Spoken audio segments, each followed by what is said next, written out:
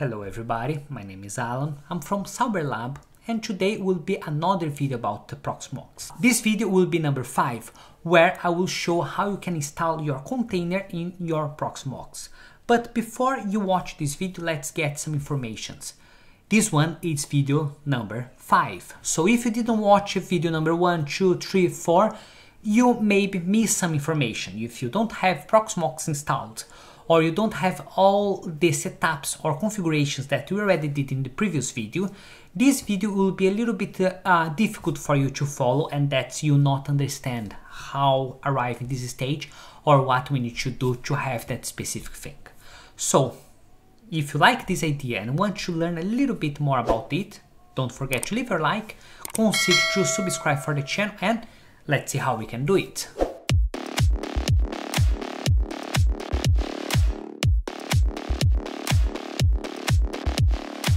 So let's start with the basics. I already have Proxmox installed. These Proxmox have one node called Sauber Lab. Remember this Sauber Lab, if I come in summaries, have 4 cores and 80 gigabytes of RAM memory. So let's start from the basics. I have Proxmox installed in a physical computer and you're gonna ask why you don't have installed in a virtual machine. Because don't work well. I tried before to install in a virtual machine, run it, but it didn't work as I expect, so I decided to have old computer run Proxmox in order to show these videos.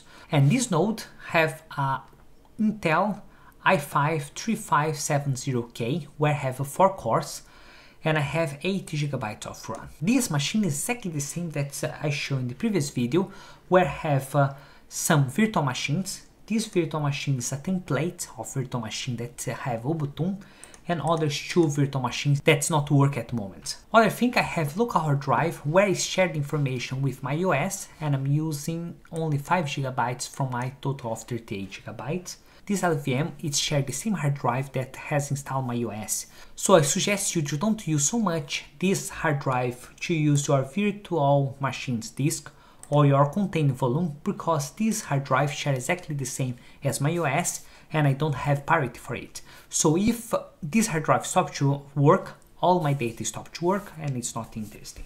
So I suggest you to have a ZFS, principally if you're using for production. If you use only for try, it's totally fine, but as production is better. This system I'm using 109 gigabytes of uh, my capacity. And you're gonna ask what it's using this capacity. It's simple. If I come here my virtual machines disk, I have uh, one volume that it's using by the template and others two that's using by two virtual machines. And if I keep and create more virtual machines, they will keep using this capacity. Other thing, I come here my container volume and inside this container volume I don't have anything. But once that we create our container, we're gonna see some volume here. So now we can start to install our container. But before we install, we need to know which image or which model that we're gonna use to install. So if I come here in my local, I can choose an option container templates and I can choose upload where I can have my container, my computer can upload in this system. I can download for URL where I can have the website from this container and download and they will check it for me. But the easiest one, it comes directly in template.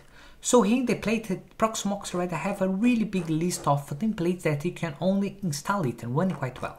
So we're gonna look for Ubuntu. If I come Ubuntu and put enter, have different versions. The version that I'm gonna install is the version 20.04 because it's exactly the same that I'm using for my virtual machine. So it's easy and it's exactly the same. I come here and put download. So now it will take a few seconds until they finish the download. According here, they take 3.8 seconds, that's great, and task is okay. So once that I close it, my template should appear here. So now I can start to create my container. To create my container, it's really easy. I will put create container. They appear this information, so I have only one node. I cannot choose others. This reason that I will keep Sauber Lab. Here my container ID, I can define a unique number for this container. In my case, I like to keep between 100 and 200 all my virtual machines, between 200 and 300 all my containers, and between 300 to 400 all my templates. So in this case, a container, so we'll put 201, host name, I need to define a name. So I will put Ubuntu because exactly the same name as my other volume. So now I can create my password. So I'll put my password and repeat my password. And now I can create my SSH public key. How it's work? Uh, I will not show in this video, but you can use put to generate a public key and you can load this public key in order that when your system restart, you use this public key and that you can access your container. Otherwise, you'll not be able to access it.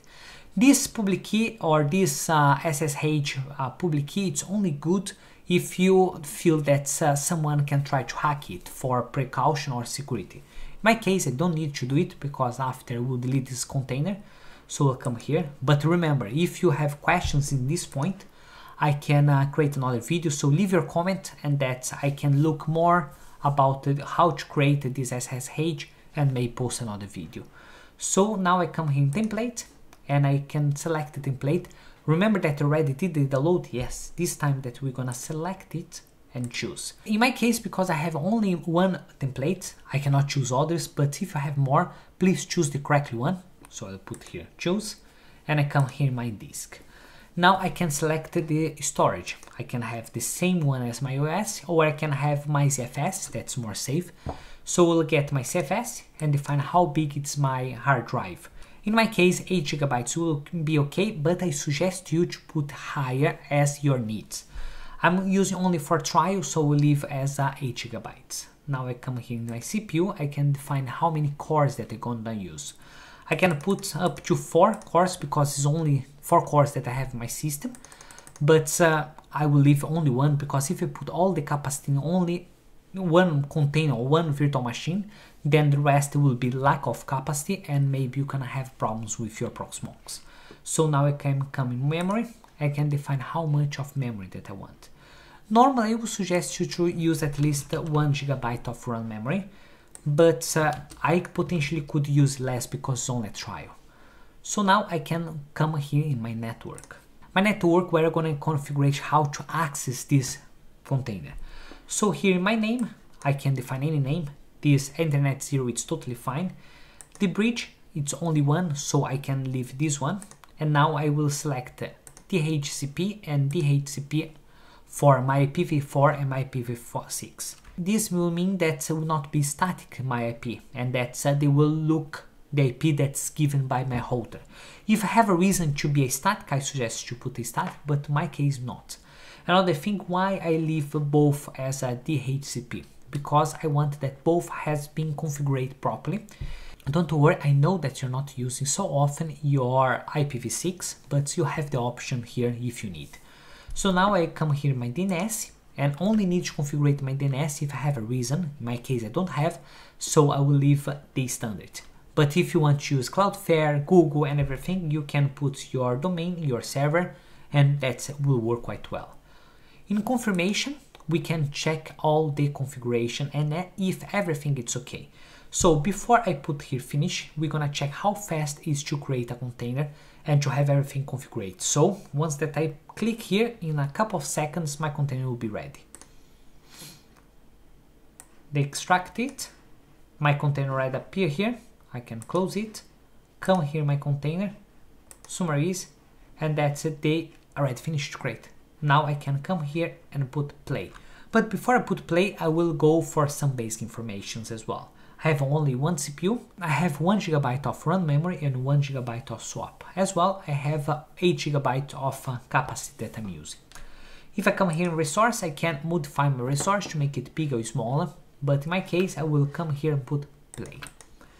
In the play, I will come here my console, and in few seconds they will already appear the option for me to do the login. So here I can do the login now.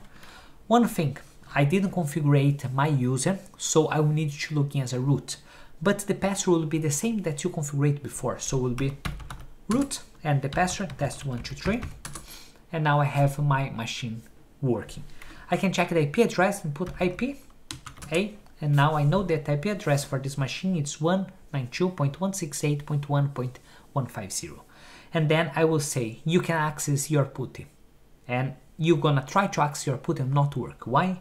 because you didn't create a new user to be able to access it. So to create a new user is really, really simple. We're gonna type add user and the name Sauber Lab and they will ask what's the password. So put test123 and try to repeat it correctly. And now I can set up my name and all the information. Do not use anything at this stage, so I can only go there and leave empty, say that yes, enter, and now I have my user create. But this user don't have all the permission. In order to be able to access the system and have some root permissions, I'll need to use usermod uh, slash a and g sudo sauberlab and put enter. And before you ask, Alan, you never use any sudo in this command because I am already looking as a sudo, as a root, so will not make any difference. Now we can open our PuTTY and try to access it. So to access our PuTTY, it's simple. We're gonna access with the same IP address 192.168.1.150 and now I can come here put yes and looking as a Sauberlab and put my password and now I already access it. So if I put IPA, I have exactly the same IP address as my machine. Now I can close it only for show something else and I come here in my summaries. So in my summaries, I can see how much I'm using. So I have uh, 8 gigabytes and I'm using 400 megabytes. Also, I'm using around 33, 30 megabytes of run, so almost nothing. But what's compared with a virtual machine? If I come here, my virtual machine, and start this virtual machine. They will start, will take a little bit more time, and straight away they already go for 100 or 200 megabytes. So now I can come here in console and see what is going on. This taking time until they appear this page, and here in this page I can make the login, Sauber Lab. So here, once that I log in with my user, I can come in summaries, and I'm already using 375 megabytes of uh, memory compare for only 30 megabytes of RAM memory. Other thing, how much I'm using for my hard drive. So I can come here back in the console. I have already looking it and it's working. And I will put df slash h. So I'm using 4.7 gigabytes of capacity from my system. If I come here and put console, to be fair, I will run exactly the same step. And now I'm using only 401 megabytes. Check the difference. One, I'm using 4.7 gigabytes and the other and the other 401 megabytes so almost nothing compared for both so a container is lightweight it's uh, faster to install faster to start run smoothly and use less capacity but don't think that a container it's always better to run have some situation that the container will not work or some situation that a virtual machine will not work in the way that you expect so I hope that you like this video. In this video I try to explain a little bit more about containers and virtual machines. But don't worry if you did understand and you're not sure which option that you should install in depend of the case that you're gonna use. In next videos I want to explain a little bit more about it and which case that you're gonna use a, a container and which case that you're gonna use a virtual machine. So if you like this video and think that was interesting, don't forget to leave your like consider to subscribe for this channel and see you next time. Bye.